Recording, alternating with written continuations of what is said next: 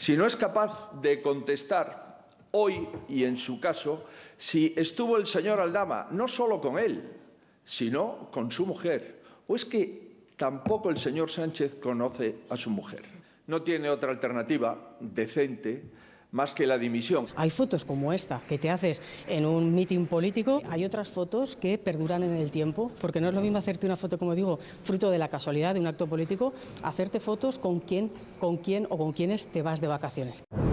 Más Madrid dice que lo único que sí conocían de Rejón es que tenía ciertos problemas personales, pero nada que ver con agresiones sexuales. Si hubiésemos sabido que era un agresor, créanme que no le hubiésemos recomendado ayuda profesional. hubiéramos ido directamente a una comisaría. Tampoco lo sospechaba Rita Maestre, pareja de Rejón durante años y concejal de Más Madrid. Lo que sí reconocen es el error del partido en junio de 2023, cuando una mujer denunció en redes una agresión en Castellón. Dicen que él lo minimizó y que no se tendrían que haber conformado con sus explicaciones. Fueron insuficientes, que fueron ambiguas y asumimos el error de no haber ido más allá en nuestras averiguaciones, en haber dado por buena su versión. Y yo estoy convencida de que nadie en ningún espacio político que ha convivido con Íñigo Errejón sabía de esto. Se refiere también a Sumar y a Yolanda Díaz, a la que hoy Podemos acusa de conocer lo ocurrido en 2023. Lo único que hicimos fue comunicárselo a la persona que entendíamos que podía hacer algo al respecto, que era, que era Yolanda Díaz,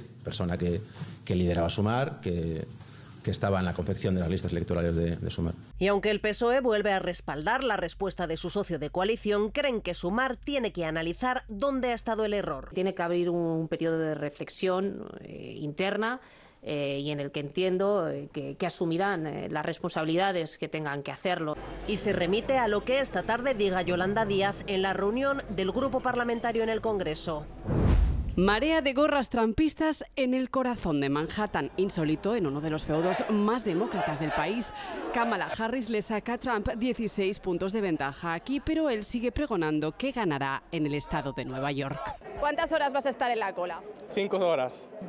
Cerrar la frontera y controlar la inflación es su mantra. Tras los intentos de asesinato, algunos creen incluso que Trump es un elegido de Dios. La gran pregunta es por qué a poco más de una semana de las elecciones, cuando la batalla está en otros estados reñidísimos, Trump invierte tiempo y dinero en estos lares casi imposibles. Para él, muchos creen que quiere dar un golpe de efecto, plantar la bandera trumpista en terreno enemigo. Entramos. Queda claro que pretenden reivindicar al expresidente en su ciudad natal tras meses de imputaciones y condenas. El rey de Nueva York ha vuelto para reclamar la ciudad que construyó, anunció su hijo mayor. Este estado puede volver a decantar qué partido controla la Cámara Baja.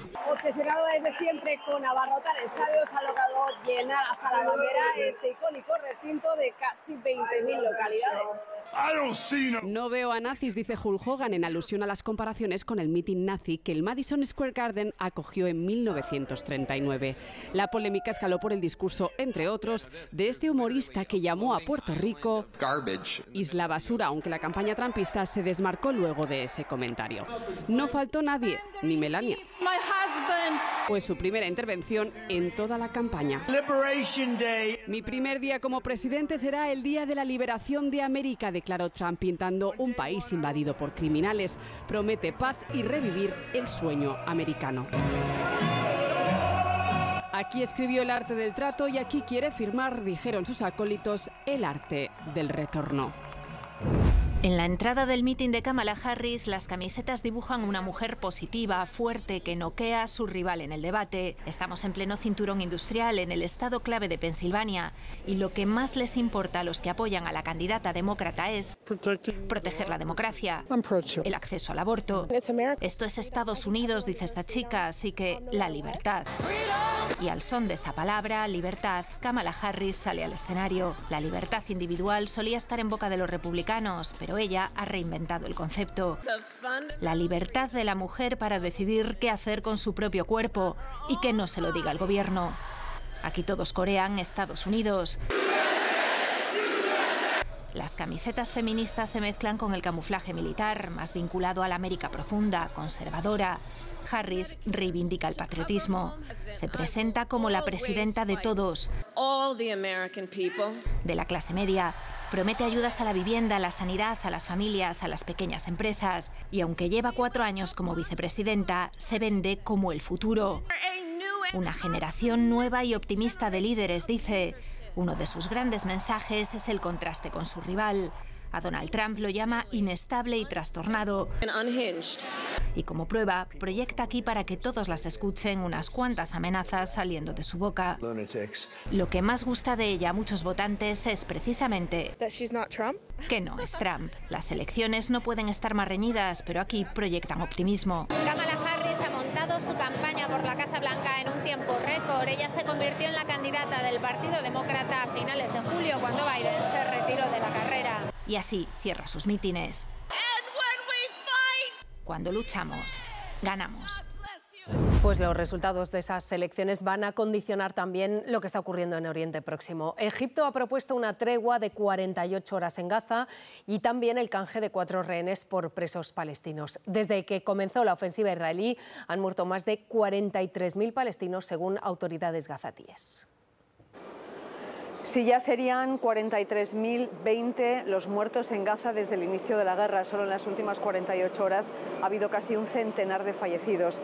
Los ataques israelíes se centran en el norte de Gaza y son ataques contra hospitales e incluso escuelas donde se refugia la población.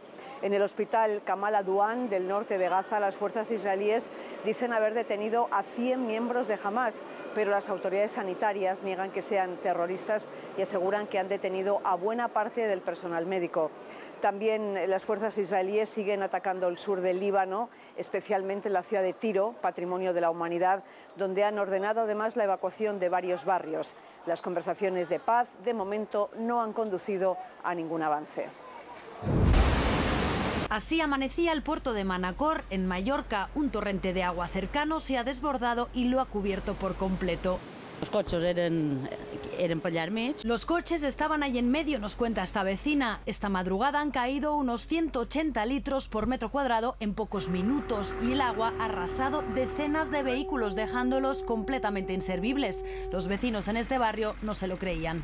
Es un desastre. Es todo con agua. Sabes que ahora mismo estamos todos mm, sin coches. En total, cinco rescates de personas atrapadas por el agua y ahora mismo Emergencias sigue atendiendo las centenares de incidencias. Una de ellas en la Academia de Tenis de Rafa Nadal. Los bomberos han tenido que achicar el agua que inundaba las instalaciones. En Albandrello, Cambrils, Tarragona, las calles también amanecían bajo el agua. Sí que ha sido una sorpresa la cantidad así como de repente. Esto, esto va de coña. Una lluvia querida para mitigar la sequía que todavía arrastra Cataluña, pero que ha complicado la circulación en algunos puntos. Esto es Peñíscola, Castellón. He venido a pasar cuatro días de vacaciones y la verdad es que no vamos a poder salir de la habitación. Pues hemos cogido paraguas, eh, impermeables. Bien hecho porque el aviso amarillo por lluvia se mantiene hasta la noche, aunque la peor parte se espera a partir de esta tarde. Largas esperas en las paradas de bus de todo el país desde primera hora. Cerca de 40 minutos. Pues llevo media hora. Para ir a clase llego tarde. No, no lo sabía. He venido en tren. Eh, para evitar lo de la huelga. Y concentraciones de los sindicatos en las cocheras de autobuses e intercambiadores de transportes. Sabéis, está informado de que esto es para los coeficientes reductores y para jubilarnos a los 60. Unos 100.000 conductores de autobuses urbanos, interurbanos y escolares reclaman que se reconozca la peligrosidad y penosidad de su profesión. Exigen adelantar su jubilación siete años. Porque, a ver, lleva gente y tiene riesgo. Riesgos que te pueden pasar al volante. Perdemos reflejos, perdemos capacidad visual, perdemos capacidad recuperación. Quieren acordar con la patronal ese recorte de años trabajados para retirarse antes. Por ahora no han acercado posturas, como sí hacían el viernes los transportistas sanitarios y de mercancías. Bueno, ayer mantuvimos una reunión con la patronal por la tarde y bueno, al final lo que no quieren asumir es el coste. Están anteponiendo el coste económico a lo que es la seguridad vial y salud de los propios trabajadores. La patronal ve inviable la medida para pequeñas empresas y pide que la Administración se siente también a negociar. Los coeficientes reductores conllevan un incremento en las cotizaciones a la seguridad social que tiene tal coste, por lo que hemos visto en otros sectores de actividad económica, y por tanto sería abocar al suicidio a muchas de las compañías del sector. El seguimiento de la huelga de hoy ha sido masivo, según los sindicatos, y se han cumplido los servicios mínimos sin incidencias reseñables, según la patronal. Los vecinos de esta pequeña pedanía de Pulpí respiran hoy más tranquilos después de la detención de este violento y reincidente agresor sexual. Se le vincula con dos agresiones que tuvieron lugar en apenas seis meses, una en abril y otra en octubre, y los agentes señalan que fue especialmente violento, utilizó un arma blanca para intimidarlas y también bridas para inmovilizarlas. La detención se producía el pasado día 21 en Gijón de un hombre de 33 años y en su paso a disposición judicial el juez decretó su ingreso en prisión incondicional y sin fianza.